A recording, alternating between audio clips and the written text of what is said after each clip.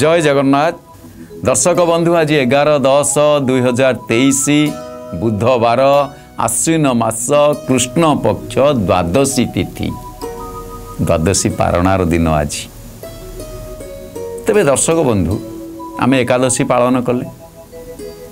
ଏକାଦଶୀ କେମିତି ପାଳନ କରିବା ବା ଏକାଦଶୀରେ କ'ଣ କରିବା ଉଚିତ କ'ଣ ନ କରିବା ଉଚିତ ଆମେ ଗତ ଦିନରେ ଆମେ ଜାଣିଲେ। ଆଜି ହେଉଛି ଦ୍ୱାଦଶୀ ପାରଣା। କିନ୍ତୁ ସବୁଠୁ ଗୋଟିଏ କଥା ଆମ ମନ କହୁଛି ଏକାଦଶୀ ବ୍ରତ କରିବା ଆଉ ଜଣେ କହୁଛି ମୁଁ ଆଇଁଷ ଖାଇବି ତେଣୁ ୟା ଭିତରେ କ'ଣ ହେଉଛି ନା ଅନେକ ଗୁଡ଼ିଏ ଘରେ ମାନେ ଗୋଟେ ଫାଟ ସୃଷ୍ଟି ହେଇଯାଉଛି। ଏମିତି ଅନେକ ଘର ମଧ୍ୟ ହେଉଛି ତେବେ ଏଥିରୁ ନିରାକରଣ ପାଇଁ ଗୋଟେ ସୁନ୍ଦର ଉପାୟ ମୁଁ କହୁଛି। ଆପଣମାନେ ମନେ ରଖନ୍ତୁ। କିଛି ନାହିଁ। ଆପଣମାନେ ଜାଣିଛନ୍ତି ଖାଲି ଗୋଟେ କହିବାର ମାଧ୍ୟମ। ଆଜିର ଶୀର୍ଷକ ଘରେ ଆମେ କେମିତି ଏକାଠି ରହିବା। ପିଲାମାନଙ୍କ ଝଗଡ଼ାରେ ବଡ଼ମାନେ ଅଂଶଗ୍ରହଣ କରିବା ଉଚିତ ନୁହେଁ। ପିଲାମାନଙ୍କ ଝଗଡ଼ାରେ ଆପଣ ଆଦୌ ପଡ଼ିବେ ନାହିଁ ବୁଝେଇଦେବେ। ସେ ଚାहे ଆପଣଙ୍କ ପିଲା ହୁଅନ୍ତୁ ସେ ଚାहे ପଡ଼ୋଶୀ ଘର ପିଲା ହୁଅନ୍ତୁ। ସେ ଚାहे ଏ ଭାଇର ପିଲା ହେଉ ଚାहे ସେ ଭାଇର ପିଲା ହେଉ। ଆପଣଙ୍କ ପୁଅ ହେଉ ବା ଭାଇର ପୁଅ ହେଉ।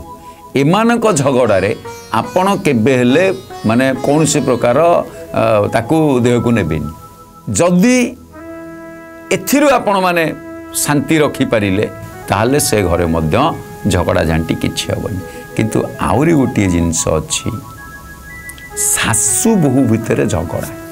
ବେଳେବେଳେ ଘର ଏକାଠି ଆମର ହୁଏନି କାହିଁକି? ନା ଶାଶୁ ବୋହୂରେ ପଡ଼େନି। ଆଚ୍ଛା ଝଗଡ଼ା ହେଲା ପରେ କ'ଣ ହୁଏ? ତାର ଅଞ୍ଜାମ କେଉଁଠି ଯାଇ ପହଞ୍ଚେ? ନା ବାପଙ୍କ ପୁଅଙ୍କ ପାଖରେ? ଅର୍ଥ ବୋହୂ ରାତିରେ ତା ସ୍ୱାମୀକି କହିବ? ଶାଶୁ ରାତିରେ ତା ସ୍ୱାମୀକି କହିବ? ହଁ ଧରି ନିଅନ୍ତୁ। ବେଳେବେଳେ ଧର ଯେଉଁ ଘରେ ବାପା ନାହାନ୍ତି ଶାଶୁ କହିବାକୁ କିଏ ନାହାନ୍ତି? ଏମିତି ବି ଅଛି। କିନ୍ତୁ ଆଗ ଏଇ ଜିନିଷଟି ମନେ ରଖନ୍ତୁ। ଶାଶୁ ତାଙ୍କ ସ୍ୱାମୀକି କହିଲେ? ବୋହୂ ତାଙ୍କ ସ୍ୱାମୀ କହିଲେ ଅର୍ଥାତ୍ ଏ ବାପ ପୁଅ।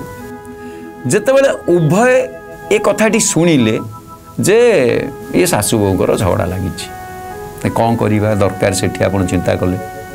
ପୁଅ ତ ନିଶ୍ଚିତ ବୋହୂ ସପୋର୍ଟ ନେବ ନେବା ବି ଦରକାର। ତାଙ୍କୁ ବି ସେତିକି ସେ ବ- ବ- ମାନେ ଅନ୍ୟ ଜଣକ ଘରୁ ଆମ ଘରକୁ ସେ ଆସିଛନ୍ତି ଏ ଘରକୁ ନିଜର କରିବା ପାଇଁ। ଆମେ ତାଙ୍କୁ ସେତିକି ପୁଣି ସ୍ନେହ ସମ୍ମାନ ସବୁ ଦେବା ଦରକାର ନା? ତେଣୁ ଇଏ ଉଭୟଙ୍କର କର୍ତ୍ତବ୍ୟ ହେଉଛି ଯେ ଦୁଇ ଜଣଙ୍କ କଥାକୁ ଭଲ ଭାବରେ ଶୁଣିବେ। ଯେମିତିକି ଅ, ନ ଶୁଣିଲା ଭଳିଆ ରହିବେନି। ହଁ ବନ୍ଦ କର ସେଗୁଡ଼ା ସବୁ। ଏ ସେ ହେଲେ ଆହୁରି ଅଧିକ ହେଇଯିବ। ଆଉ ରାତିରେ ଶୋଇପାରିବେନି। ଭଲ ଭାବରେ ଶୁଣିବେ। ଶୁଣିଲେ? ମାନେ ଶୁଣିଲେ ନା ନାହିଁ ଶୁଣି ନିଅନ୍ତୁ। କ ହଉ ସକାଳ ହେଲେ ବୁଝିବା। ନାଇଁ ନାଇଁ ଏଇଲେ ଯାଉଛି ନହେଲେ ଡାକିକି ପଚାରୁଛି। କିନ୍ତୁ ସେତେବେଳେ ସେ ଉଭୟ ଉଭୟଙ୍କୁ ମନା କରିବେ। କାରଣ ନାଇଁ ନାଇଁ ରାତିରେ ସମସ୍ତେ ଶୋଇଛନ୍ତି? ସରିଗଲା। ଯେତେବେଳେ ସକାଳ ହେଲା ରାତ ଗଇ ବାତ ଗଇ। ରାତି ଗଲା କଥା ଗଲା। ଏଇ ନୀତିଟିକୁ ଆପଣ ନିଜର କରିବାକୁ ପଡ଼ିବ ଆପଣେଇବାକୁ ପଡ଼ିବ।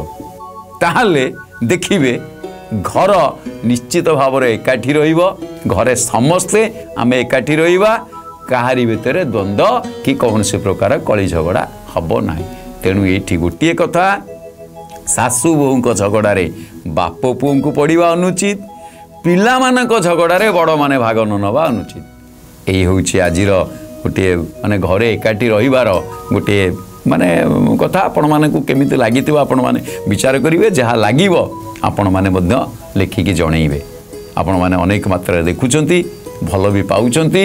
ଆପଣମାନଙ୍କୁ ବହୁତ ବହୁତ ଧନ୍ୟବାଦ।